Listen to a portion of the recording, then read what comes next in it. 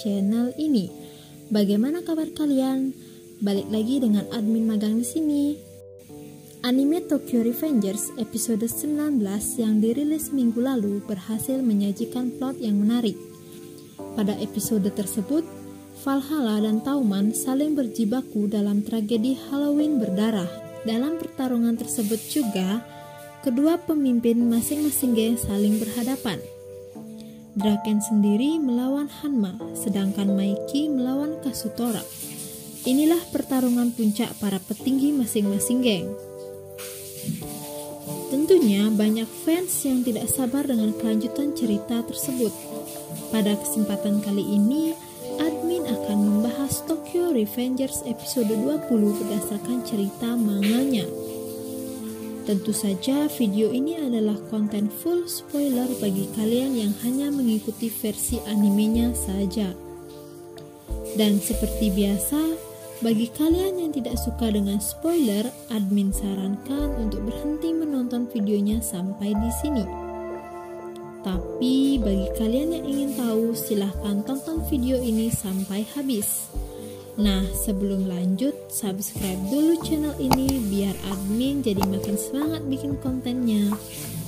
Oke, minasan, let's talk about this.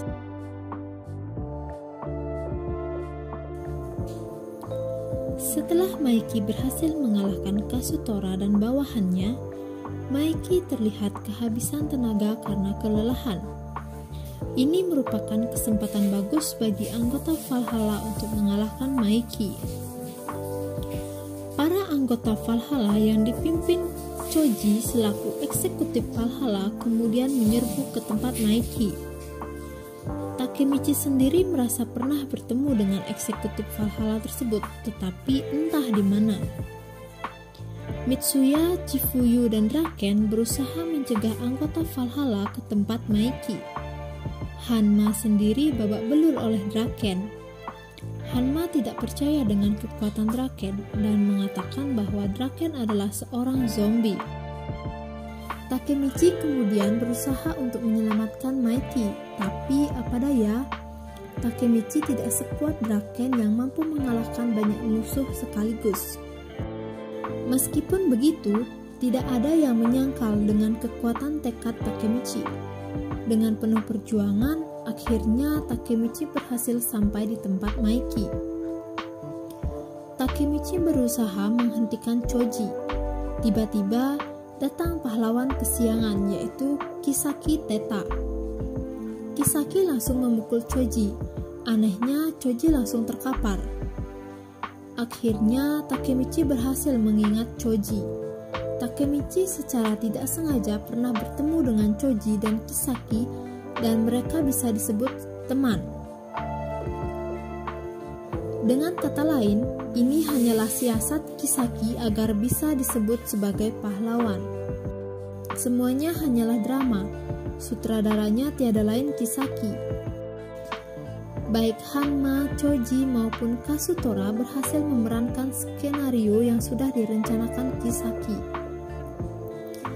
Itulah rencana licik Kisaki. Kisaki tidak peduli apakah Tauman menang atau kalah. Jika Tauman menang, dia akan menjadi seorang pahlawan yang naik peringkat. Inilah skenario yang sedang terjadi. Jika Tauman kalah, maka Kisaki akan mengambil alih Valhalla dan mengambil semua anggota Tauman untuk bergabung dengan Valhalla. Skenario kedua inilah yang terjadi di masa depan jika melihat pernyataan Draken sebelumnya. Anggota Tauman lain memuji Kisaki sebagai seorang pahlawan. Sebagai pemula, Kisaki telah berhasil menaklukkan lawan. Semua anggota Tauman tertipu dengan cara licik Kisaki. Bahkan Draken sendiri tidak menyadari itu. Inilah penyesalan yang Draken rasakan di masa depan yang akhirnya membuat Draken menjadi terpidana mati. Tetapi, tiba-tiba datang Baji Keisuke dari belakang dan menghajar Kisaki. Kisaki langsung terjatuh dari tumpukan mobil. Draken sendiri masih tidak menyadari keadaan yang sebenarnya. Raken justru menyuruh Baji untuk menghentikan perbuatannya. Dari awal, sepertinya yang sudah dibahas, motif sebenarnya Baji bergabung dengan Valhalla adalah untuk menyelidiki Kisaki. Tetapi hanya Chifuyu dan Takemichi saja yang tahu itu. Baji kemudian dihajar oleh pengawal Kisaki sampai dia terjatuh dari tumpukan mobil. Kisaki bangkit dan menyuruh bawahannya untuk mengusir lala terbang, yaitu Baji Keisuke yang mengganggunya. Baji sendiri bukan orang yang lemah. Baji kemudian bangkit dan berusaha untuk mengalahkan Kisaki. Chifuyu datang dan mencoba untuk mencegahnya. Chifuyu sendiri beranggapan membunuh Kisaki sekarang bukan waktu yang tepat. Tanpa basa-basi, Baji langsung menghajar Cifuyu. Cifuyu mengatakan bahwa dirinya adalah wakil Baji. Alasan Cifuyu datang adalah untuk melindungi Baji. Jika Baji mencoba lari, maka Cifuyu tidak akan main-main. Baji sendiri tidak gentar dengan gertakan Cifuyu. Baji malah memberi waktu 10 detik kepada Cifuyu untuk melakukan sesuatu. Ketika sudah pada hitungan nol, tiba-tiba datang Takemichi menghampiri Baji. Takemichi berusaha untuk menahan Baji karena misinya kali ini adalah melindungi Baji. Takemichi sendiri mengajak Chifuyu untuk menghentikan Baji. Chifuyu tidak bisa membantu Takemichi karena Chifuyu tidak bisa melawan Baji. Baji kemudian memukul bagian belakang leher Takemichi. Mata Takemichi berkunang-kunang. Takemichi masih berusaha untuk menahan Baji. Ketika melihat ke tempat Kasutora terkapar, Kasutora tidak ada di tempat tersebut.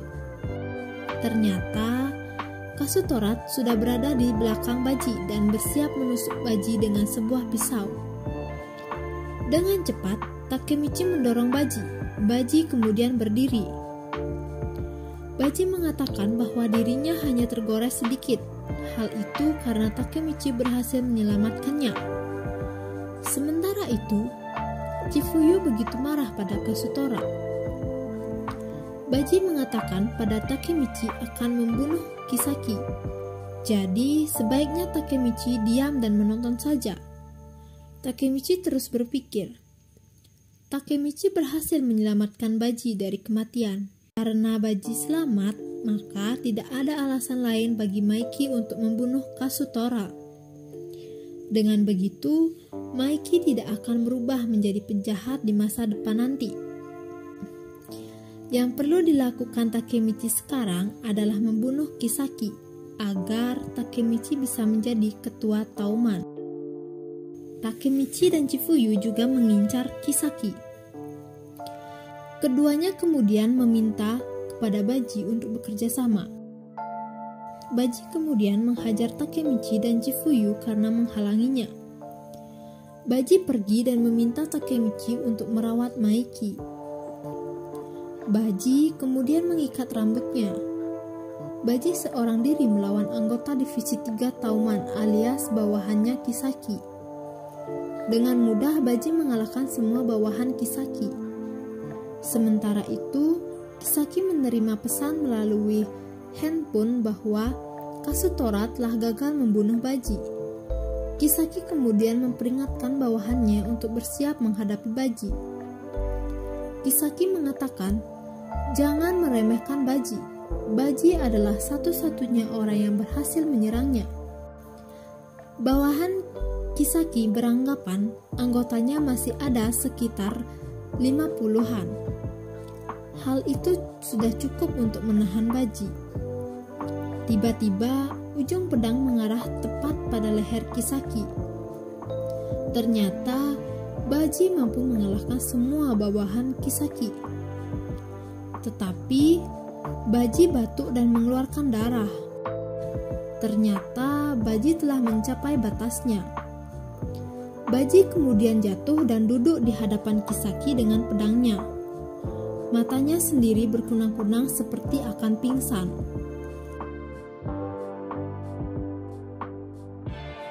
Nah, itulah tadi kurang lebih kejadian yang akan terjadi di anime Tokyo Revengers episode 20 mendatang. Apa yang admin sampaikan tadi hanya gambaran secara umum tentang hal yang akan terjadi di episode 20 nanti. Untuk detail lengkapnya, mari kita nantikan bareng perilisan animenya di channel YouTube News Indonesia. Well, segitu saja untuk kali ini. Jangan lupa untuk follow kedua Instagram di bawah untuk mendapatkan update terbaru. Akhir kata, stay safe everyone and see you next time.